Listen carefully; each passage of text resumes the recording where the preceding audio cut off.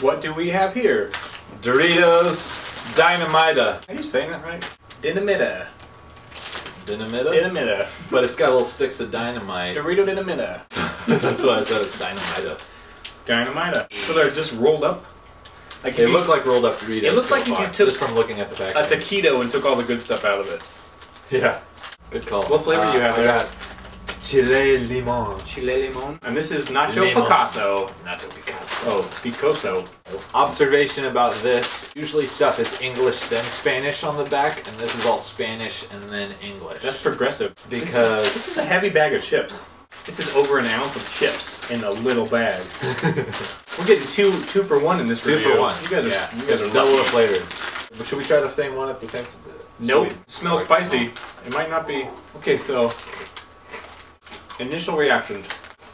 Right away, I tasted sour. Okay.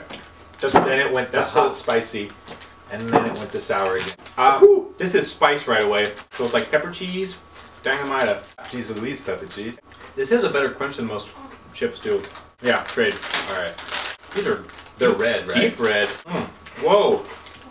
This is fake sour. I can tell. Sabrosante artificial. Right away, I taste a pepper flavor. It's got a solid, A little spicy, more Not- spicy than that. nacho cheesier finish to it. Yeah, exactly. I was hoping these were going to be about the same quality, so I could give them the same score, but I don't give them different Different scores. scores for sure. But this is cheap. Two for two for one dollar. I got three for a dollar. I'm gonna give this uh, 15 out of 37. Uh, not a fan.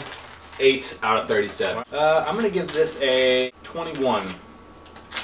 I'm going to give it a seventeen because Okay. it's twice as good plus one. Thanks for tuning in to Two Minute Review.